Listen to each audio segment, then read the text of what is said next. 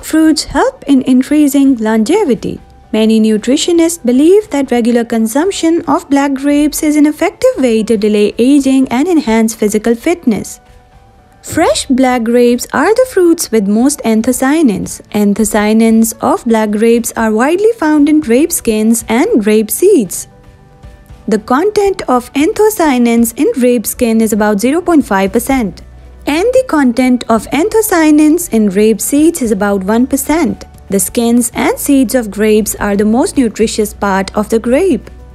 The anthocyanin of fresh black grapes is a natural antioxidant. Its antioxidant capacity is 50 times that of vitamin E and 20 times that of vitamin C.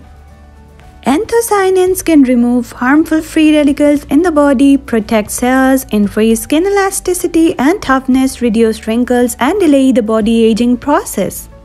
In addition, anthocyanins can also enhance the body's antioxidant capacity and reduce the occurrence of oxidation reactions in the body. Anthocyanins are the raw materials of many anti-aging health products and the most effective antioxidants found by humans.